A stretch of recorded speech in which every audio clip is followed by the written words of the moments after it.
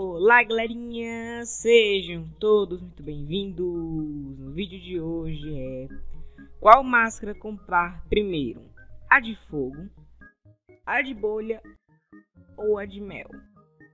No Biswarm Simulator Roblox. Mas antes, deixem seu like, se inscrevam no can canal, compartilhem o vídeo com os amigos, ative o sininho e bora lá! Vou mandar um salve para Taylor, Meroscoff e o Berlane Capello. Recebo vários comentários aqui, pessoal, no canal com essa dúvida. Por isso resolvi fazer esse vídeo dando a minha opinião.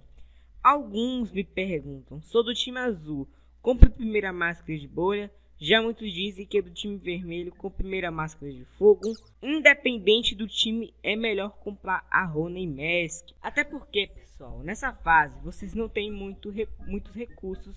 Depois comprar as outras.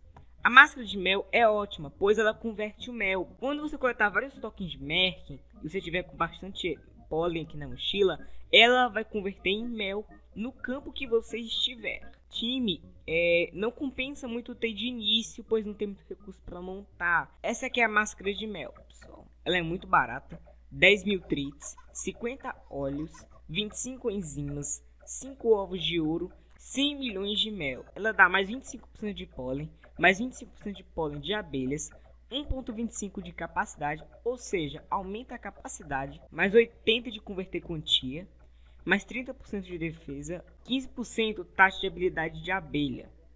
E aqui o passivo moeda scatter, que é com scatter, que faz o pólen virar token de mel para você coletar. lembrando que é multiplicado, né? Esvazia bastante a mochila. Se tiver cheia, dependendo da quantidade que tem, a sua mochila, é, vai converter toda ou não. Então, galerinha, vou ficando por aqui. Tchau!